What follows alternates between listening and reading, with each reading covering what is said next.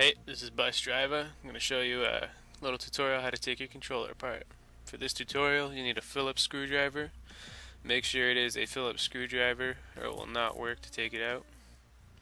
Next, you'll need a Torx T8 anti-tamper screwdriver. Make sure it has a little tiny anti-tamper hole in the bottom of it or it's not going to work.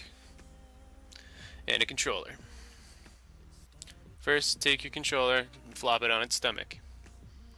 Next, take the battery pack out.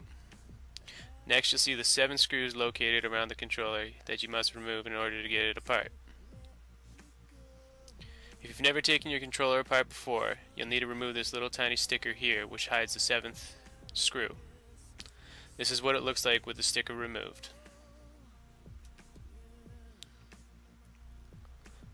Once all the screws are removed, grab the controller and start wiggling it back and forth to take the back cover off.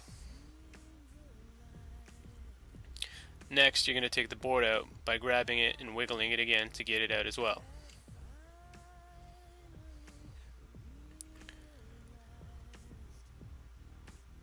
Remove the two rubber pieces and place them aside.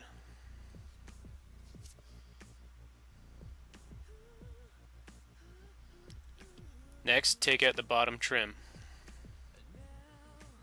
Then take out the top trim. Now you can either start taking out the buttons one by one, or you can do it how I like to do it.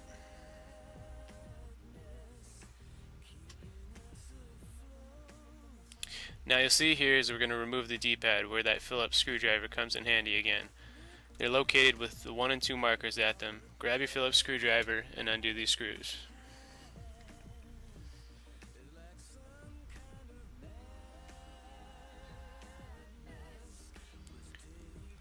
Take the two small Phillips screws out and place them aside. Make sure you do not lose these screws.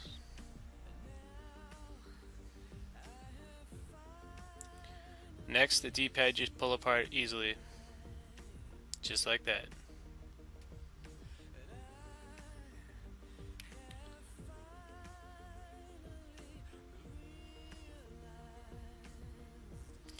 Next, to remove the thumbsticks, just pull them away from the board. They come out very easily. Now to remove the triggers. To remove the triggers, you're going to push this rod down into the right as well to move it out. Same goes to the other side. Push it down and out.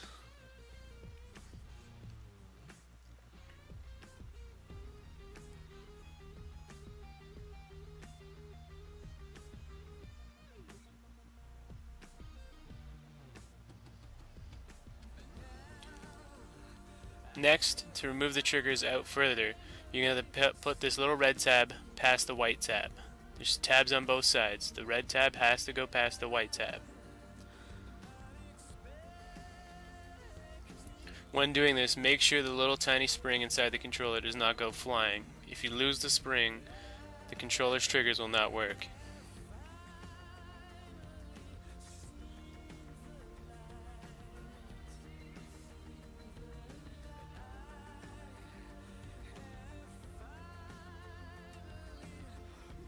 Next, to remove the trigger completely, just slide it off at the little poles.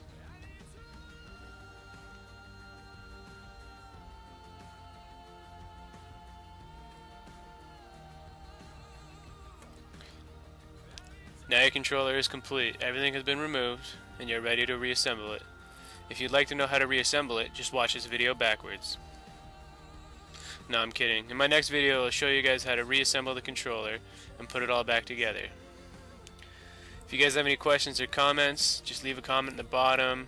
Get me on Twitter at busdriver or at xdhx gaming.